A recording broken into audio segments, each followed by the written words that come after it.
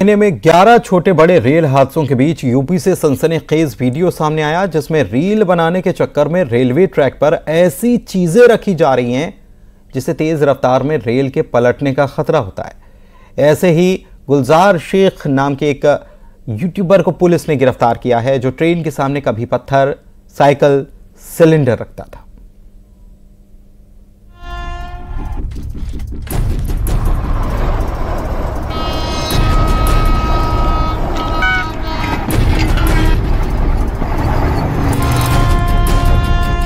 Railway track पर cycle.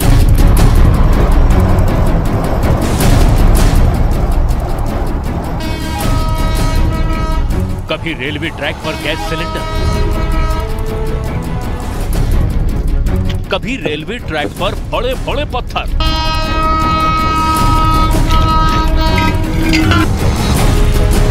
और कभी ज़िंदा मुर्गा।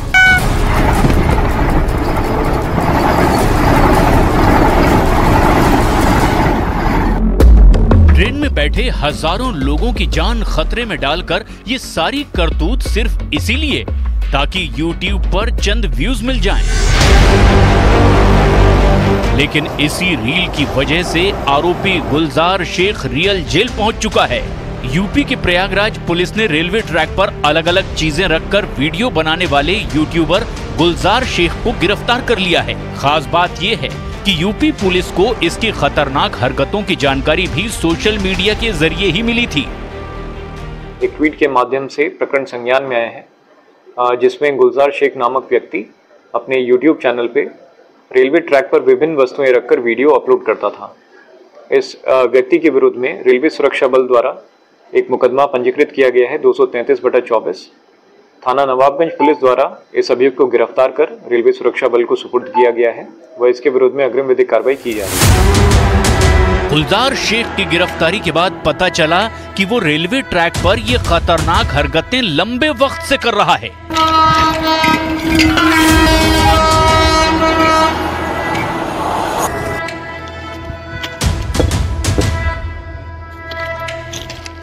उसकी ऐसी हरकतों से न सिर्फ़ ट्रेन हादसों की संभावना थी, बल्कि इसकी शैतानी से दूसरे लोगों के प्रेरित होने का भी खतरा था।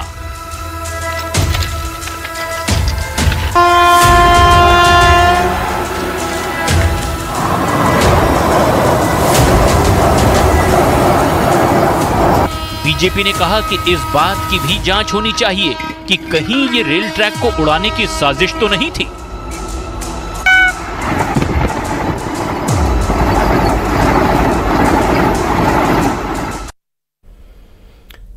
आपने यूँ तो तीन तलाक के बारे में कई दफ़ा सुना होगा और कई बार महिलाएँ परेशान होकर पुलिस वालों से थाने जाकर गुहार लगाती नज़र आती हैं, लेकिन यहाँ पर तो एक महिला ने पति को दिया है तीन तलाक।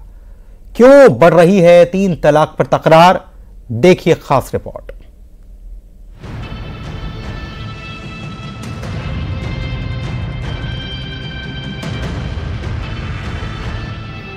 अपनी फरियाद लेकर ये शख्स रीवा के एसपी ऑफ़िस आया है।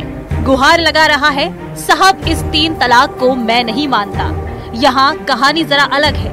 कोई महिला अपने पति के तीन तलाक देने पर पुलिस वालों से फरियाद करने नहीं पहुँची, बल्कि एक शोहर अपना दर्द दिल बयां करने पहुँचा है। मोहम्मद अज़ीज़ को उनकी बीवी ने मोबाइल पर कह दिया अब तुमसे रिश्ता खत्म। मौके की तलाक दे दिया। ये सुनकर शोहर हैरान रह गया। दामाद मोहम्मद अज़ीज़ के साथ बेटी की इस बगावत की पिता भी खिलाफत कर रहे हैं। एक बात तो यह है कि मेरी लड़की सारी उम्र गुनाह कर रही है। जी। और दूसरी बात ये है सर कि वो बच्चे जो मेरे नाती हैं खून के आँसू रो रहे हैं। उनको ज़िंदगी उनकी ज़िंदगी सहर काजी के द्वारा बर्बाद हो गई।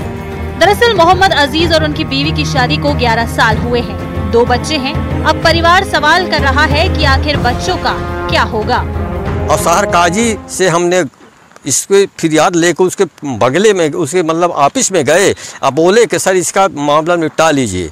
तो खुद बोला कि, अज़ीज़ को बोला कि तुम तिलाक दे दो।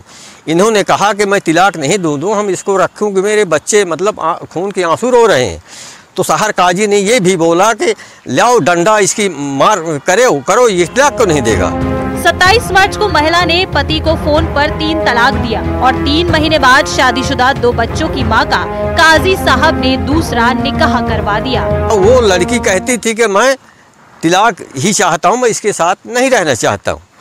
तो शहर काजी ने कहा कि जाओ तुम अगर तिलाक नहीं दोगे तो मेरा पावर है कि मैं तिलाक करके हम इसका दूसरा निकाह करवा दूँगा। इस मामले में तो देखिए, शौहर और बीवी जिम्मेदार हैं।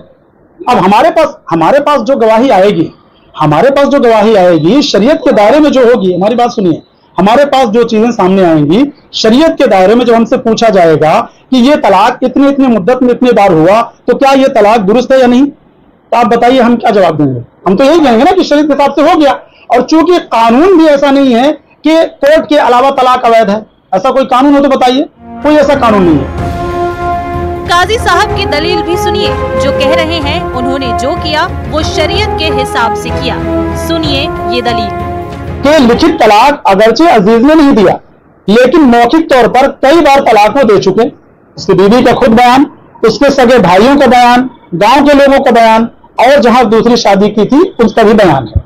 तो तलाक साबित हो चुकी जब तलाक हो चुकी तो मैंने फिर इनसे कहा कि आपकी मौखिक तलाक हो गई है, लिखित तलाक की ज़रूरत ये ज़रूरी नहीं है कि जब तक लिखित कोई नहीं देगा तो तलाक नहीं होगी। तीन तलाक पर कानून बना है।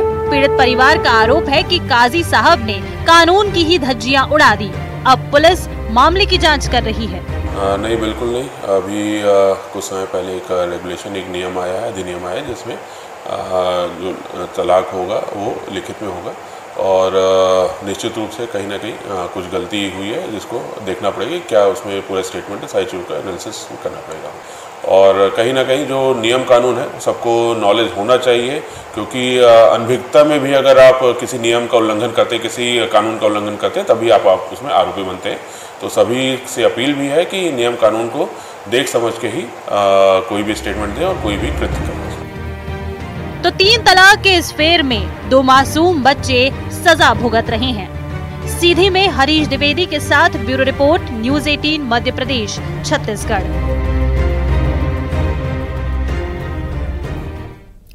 Bijapur में दो महीने पहले बनी गंगालूर से नेसल नार की सड़क पहली बारिश में बह गई। 20 से 30 किलोमीटर लंबी सड़क में पुलिया भी बनी थी और इसकी लागत आई थी छप्पन करोड़ रुपए। आरोप है कि अधिकारियों और ठेकेदारों की मिली भगत से इसकी लागत 112 करोड़ हो, हो गई लेकिन पहली बारिश में ही सड़क बह गई। लोग काफ़ी नाराज़ हैं।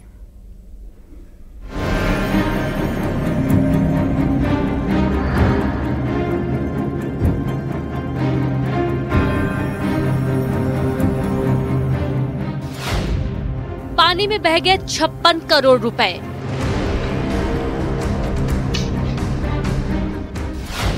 पहली बारिश सड़क हुई गायब। निर्माण में भ्रष्टाचार आखिर कब तक? जिस तरीके का भ्रष्टाचार सुरेश चंद्राकर और पीडब्ल्यूडी के अधिकारियों ने कांग्रेस शासन काल में किया है।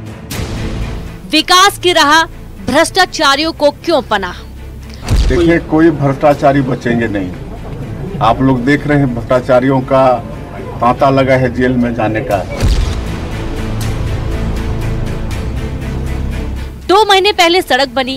पहली बारिश की फुहार में भी घटिया निर्माण की पोल खुल गई। तस्वीरों में दिख रही ये सड़क विकास कार्यों में हो रहे भ्रष्टाचार को बता रही है। किस तरह पहली ही बारिश में सड़क गायब हो गई, ये आप तस्वीरों में देख सकते हैं। छप्पन करोड़ रुपए की लागत से सड़क को बनाने की बात कही जा रही है।